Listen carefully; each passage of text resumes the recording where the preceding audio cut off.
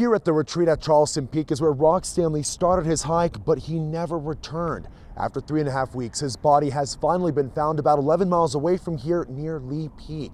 His family says he will be dearly missed.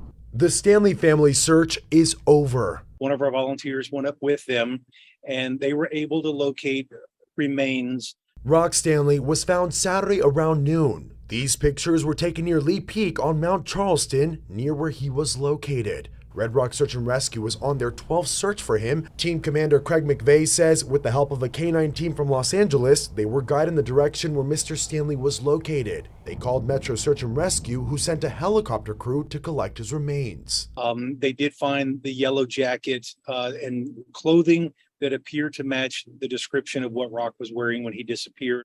He's been doing it for 30 years. It's, you know, he's comfortable with it. So this is the last thing we would have you know, thought could happen. Mr. Stanley had been missing since August 23rd. Two weeks after, we spoke with his granddaughter, Courtney Stanley, who was desperate for answers. We want to bring him home. We want to we want to give him a proper military burial you know, that he deserves. Today, his family is grieving the loss. We spoke to his granddaughter who is heartbroken at the news. She sent us this statement from the family which says, The finding of Rock is truly bittersweet. We now have closure and can grieve, but we are heartbroken to have lost him so soon. There is a peace in knowing he went out doing what he loved, but we will miss him every day. And once you have answers, you can begin the grieving process um, and and move through that process. McVeigh says, based on the terrain where Stanley was found, the search team believes it may have been a fall because it was a steep incline, about a 30 degree slope. It would be hard to to walk in or accidentally get to where he was.